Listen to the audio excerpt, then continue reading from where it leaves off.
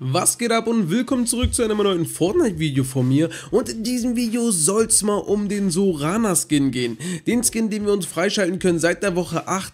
Ja, ich habe ihn tatsächlich noch nicht freigeschaltet, weil mir noch einige Herausforderungen fehlen von den letzten zwei Wochen. Den Rest habe ich schon durch, also ich habe gestern äh, den ganzen Tag durchgehasselt und heute auch mich nochmal rangesetzt und einige Stunden gespielt. Es ist nicht wirklich einfach, weil einige Aufgaben sind wirklich nervig, wie zum Beispiel eine legendäre Waffe zu finden. Auch wenn ich ein paar Mal sozusagen sozusagen die äh, Vorratslieferung abgefangen habe, Bruder, es ist einfach, es ist einfach nervig. Nichtsdestotrotz möchte ich euch in diesem Video zeigen, wo ihr das Rückenaccessoire finden könnt, was ihr freischalten könnt, einmal die Spitzhacke finden könnt und sogar noch einen zweiten Stil von dem Sorana Skin und die Orte zeige ich euch in diesem Video, also bleibt auf jeden Fall dran.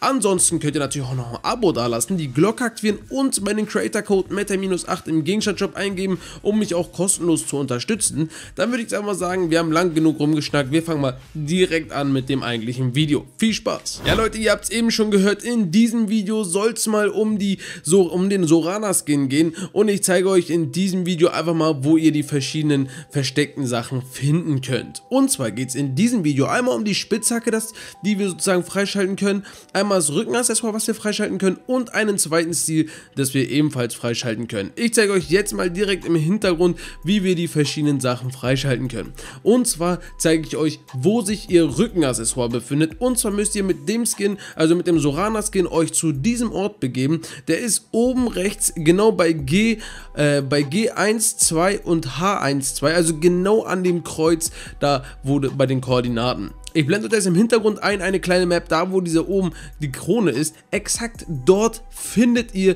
das Rückenaccessoire. Das Rückenaccessoire könnt ihr euch einfach einsammeln und zack, dann habt ihr das auch schon in eurem Spind drinne. Finde ich sehr cool, die Idee, dass Epic Games das so gemacht hat, finde ich absolut geil, muss ich sagen, dass man das so freischalten kann. Dann wollt ihr natürlich auch nochmal die Spitzhacke haben, kann ich natürlich verstehen, ich finde sie ebenfalls cool und werde sie mir heute Abend oder spätestens morgen auch nochmal freischalten. Und die zeige ich euch nochmal rechts unten auf der Map. Also ihr könnt es ja sehen, da habe ich euch das auch nochmal markiert.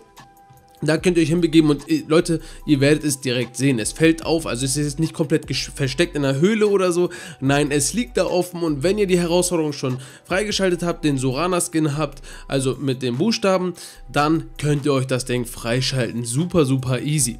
Viele von euch möchten aber dann doch nochmal den zweiten Stil haben, den man sich freischalten kann mit dem Sorana Skin und den möchte ich euch ebenfalls nochmal zeigen. Wir haben dann die grüne und die graue Variante, also die beiden können wir uns nochmal freischalten.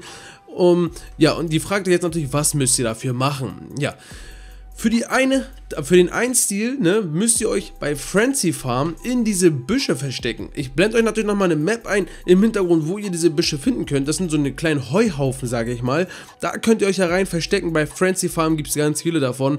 Reinjumpen und zack, habt ihr schon mal einen Stil freigeschaltet. Um den zweiten Stil freizuschalten, müsst ihr einfach in eine Mülltonne springen. Und da habe ich euch ebenfalls nochmal eine Karte eben hier eingeblendet. Da könnt ihr beide Sachen sehen. Einmal die Heuhaufen und einmal die Mülltonnen.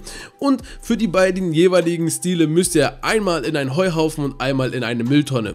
Um den auch wirklich freizuschalten, müsst ihr natürlich den Skin ausgerüstet haben, also ihr müsst das Outfit sozusagen anhaben, benutzen diesen Skin und dann das, diese ganzen Herausforderungen machen. Das war's dann auch schon, dann habt ihr auch schon alles freigeschaltet rund um den Sorana Skin und könnt euch den einfach ganz entspannt gönnen.